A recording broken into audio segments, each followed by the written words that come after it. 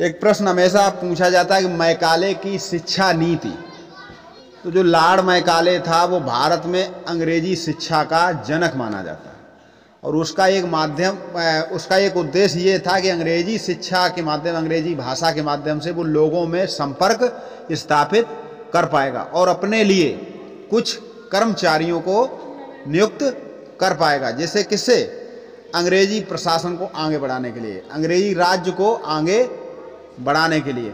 और उसका उद्देश्य था कि लोग आत्मा से और विचारों से ब्रिटिश जो नीतियाँ हैं, उसके समर्थक बन जाएँगे जब हम अंग्रेज़ी सीख लेंगे तो हमें भी लगने लगेगा कि अरे, हम भी तो अंग्रेज़ हो गए।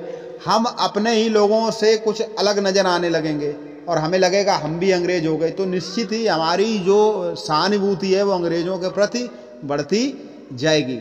इसीलिए उसने अंग्रेज़ी शिक्षा का प्रचार प्रसार किया था।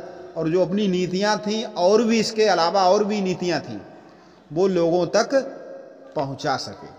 तो अंग्रेज़ी के शिक्षा, अंग्रेज़ी के प्रचार प्रसार में, लाड मैकाले का यही प्रमुख उद्देश्य था।